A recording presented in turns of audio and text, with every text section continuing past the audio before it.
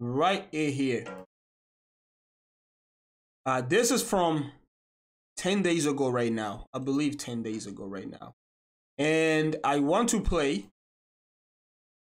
I want to play this this clip right here so you can see what I was talking about and we can see what has played out so far. So that way we have a good place to start from when it comes to Bitcoin. All right, so this is my Bitcoin, you know, Bitcoin price for the next three weeks. I was talking about the Santa Claus rally. All right, let's start from right here. I think this is a good place to start from.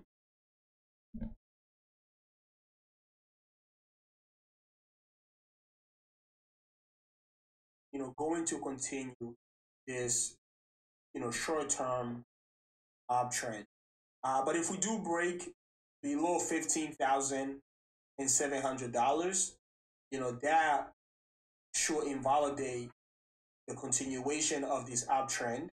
And in the short term, we could potentially get some retest, you know, right down here, guys, around sixteen thousand, and uh, you know, basically around sixteen thousand dollars. But as long as we hold, you know, this range right here, I hope you guys can see exactly what I'm talking about.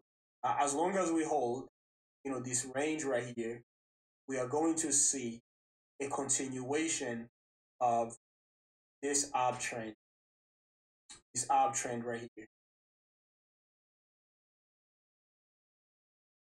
So for the next couple weeks, you know, this is what Bitcoin is more likely to do. Uh, we are more likely to continue uh, this uptrend right here and push all the way up to, you know, eighteen thousand dollars. And if we do reach that eighteen thousand dollar level, uh, you are going to see a lot of, you know, traders, a lot of swing traders, a lot of, you know, short term momentum traders uh, you are going to see many of them, you know, take profits. Uh, and the reason is very simple and you know clear and straightforward, is because we have this ceiling right here, guys. This is a ceiling, and it is going to take time and you know some serious volume uh, for Bitcoin to break above this range right here. And of course, if we zoom out and we look at you know the bigger picture, look at the weekly time frame. Uh, you know, really nothing. You know, other than this ceiling right here. If we zoom out and look at you know a much bigger picture, if you look at the monthly time frame, uh, you can clearly see that in the short term there is no indication that we are going to see a turnaround you know, anytime in the near future. So that was from 10 days ago. Uh, you can see Bitcoin was trading in the higher, you know, sixteen hundred dollars. Uh, excuse me, in the higher sixteen thousand dollars, and I told you guys that we were going to see a rally that was going to push the price of Bitcoin all the way up to $18,000. But once we get to $18,000, we were going to see a lot of profit taking because you have this ceiling right here at 18,000 all the way up to $18,500. I told you guys that it was more likely we were going to see profit taking in this range right here, in this $18,000 range, and more likely we were going to see a pullback. Again, that was an update from, you know, 10 days ago. I mean, I was spot on, 100% spot on. Because you can see that's exactly what Bitcoin did. We push all the way up to $18,300. And quickly after that, we got a lot of sellers. And look what Bitcoin is right now. We are back in the higher $16,000. I mean, absolutely spot on. Absolutely spot on. And this was very, uh, not easy to predict, but this was, you know, realistically looking at the market, you know, straightforward, uh, not trying to pump anything. Because if you look at the performance of Bitcoin, you know, over the last couple months now, the same thing, uh, you know, continues to repeat over and over and over. We had the same setup right here. We had another, you know, another same setup right here. And this is exactly what's happening again. So now that we got rejected, you know, the question is, where do we go from here? Now that we got rejected, you know, in this range right here, uh, we know that we were going to get rejected. We just got rejected. So if you're looking at Bitcoin in the higher 16,000, you know, the questions you have right now is where do we go from here? And that's exactly what I'm going to show you guys.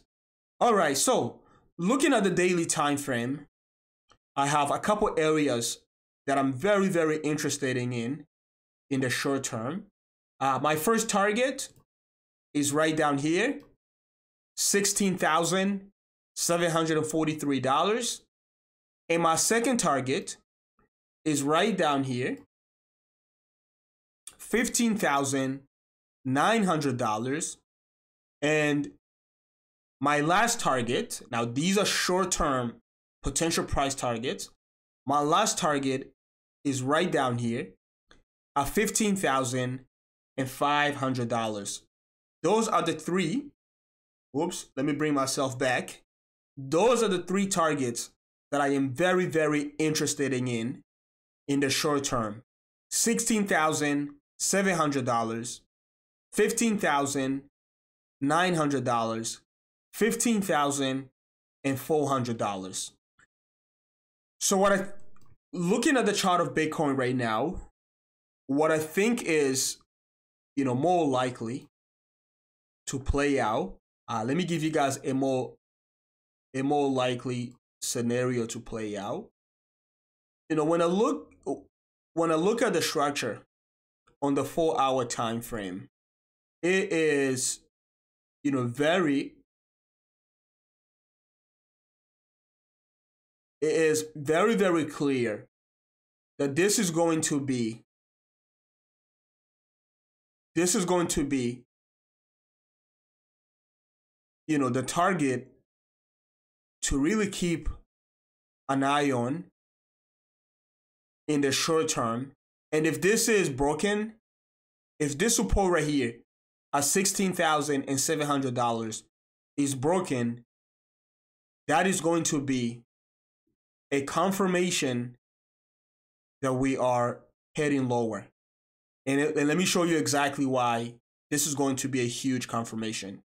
If you go all the way back, if we go all the way back to right here, when Bitcoin put in uh, the lows at $15,500, if you look at the performance since $15,500, Bitcoin has done a great job. Uh, Bitcoin has done a great job with this, you know, short-term uptrend. You have a higher high right here. You have a higher low. You have another higher high. You have another higher low. You have another higher high. And this right here right now is what I'm interested in. So the reason why this is like really, really important, guys, for the first time since the initial of this move right here from 15,000, we all we've done, you know, over the you know over the last couple of weeks was you know a really nice bullish uptrend and every time we had a pullback we continue to get buyers to buy the short term pullbacks But for the first time, you know, if we were to break this support right here, for the first time, we broke structure. Again, if you look at, you know, the entire move right here, for the first time we broke structure. And this time, you know, instead of holding the previous highs, which is right here, instead of holding these previous highs right here, you know, at 17,000 and all the way down to around uh, $17,900. Instead of holding these previous highs, we break them. And for the first time, guys, you know, we, we put in a lower low instead of a lower high, like the ones we saw previously. So if we were to break this move right here, that would be a huge confirmation. And the next move is more likely to be a dead cat bounce. And these levels right here will now become a resistance. I hope you guys can see exactly what I'm talking about. Uh, so let me try to clear this up. So if we get a move that breaks this support right here, uh, the next rally is more likely to get rejected in this range right here. And for the first time, you know, we broke structure. We now have a lower low and a lower high.